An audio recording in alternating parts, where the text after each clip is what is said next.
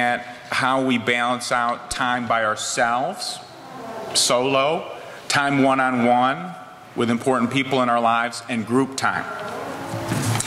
Our reading comes, Sarah and I will read together from Walt Whitman, Song of the Open Road. And this, uh, Whitman is interesting. He was new to the Transcendentalist movement. He was a young guy in the group of older men and women who were talking about the connection humans have with all divine and all spirit and each other. But he was also in the beginning what's known as the realist movement. And they felt that the transcendentalists were a little bit too much poetry and wanted to break things down a little bit more into pragmatic living for people's lives. Afoot and light-hearted, I take to the open road. Healthy, free, the world before me. Henceforth, I ask not good fortune. I myself am good fortune. Strong and content, I travel the open road.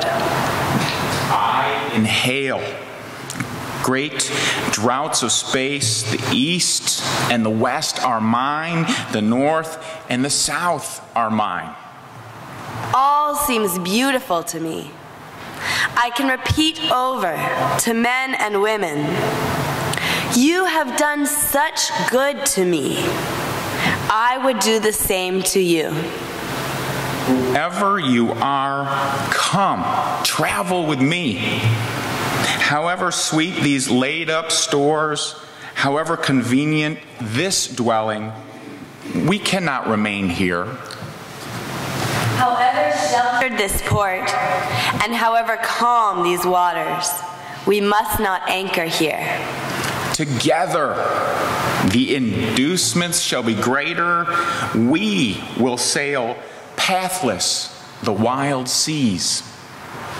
We will go where winds blow, waves dash, and the Yankee Clipper speeds by under full sail. Forward after the great companions and to belong to them. They too are on the road. Onward to that which is endless, as it was beginningless to undergo much tramps of days, rests of nights. To see nothing anywhere but what you may reach it and pass it.